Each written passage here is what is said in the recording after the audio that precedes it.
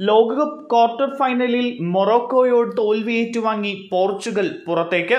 പുരുഷ ഫുട്ബോൾ ലോകകപ്പ് ചരിത്രത്തിൽ ആദ്യമായി സെമിയിലെത്തുന്ന ആഫ്രിക്കൻ രാജ്യമെന്ന ഖ്യാതിയാണ് മൊറോക്കോയ്ക്ക് ലഭിച്ചത്. മത്സരത്തിൽ കഴിഞ്ഞ കളിയിലെ താരമായ ഗോൺസാലോ റോമോസിനെ ആദ്യ ഇലവനിൽ ഇറക്കിയ ടീമിന് തുടക്കം മുതൽ താളം കണ്ടെത്താൻ നന്നായി വിയർക്കേണ്ടി വന്നു. ടൂർണമെന്റിൽ ആകെ ഒരു ഗോൾ മാത്രം വഴങ്ങിയിട്ടുള്ള മൊറോക്കോയുടെ ആഫ്രിക്കൻ പ്രതിരോധ നിരയെ മറികടക്കാൻ താരതമ്യേന പരിചയക്കുറവുള്ള പോർച്ചുഗലിന്റെ മുന്നേറ്റ നിരക്ക് കഴിയാതെ വന്നപ്പോഴാണ് റൊണാൾഡോയെ പോലൊരു താരത്തെ പുറത്തിരുത്തിയ തീരുമാനം ചോദ്യം ചെയ്യപ്പെടുന്നത്.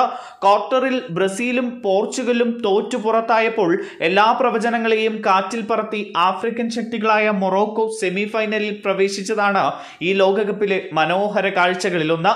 സാക്ഷാൽ ക്രിസ്ത്യാനോ റൊണാൾഡോയുടെ പോർച്ചുഗലിനെ ഏകപക്ഷീയമായ ഒരു ഗോളിന് തോൽപ്പിച്ചാണ് മൊറോക്കോ സെമി ഫൈനലിലേക്ക് മാർച്ച് ചെയ്തത് സ്പോർട്സ് ഡെസ്ക് ഇന്ത്യ ടുഡേ.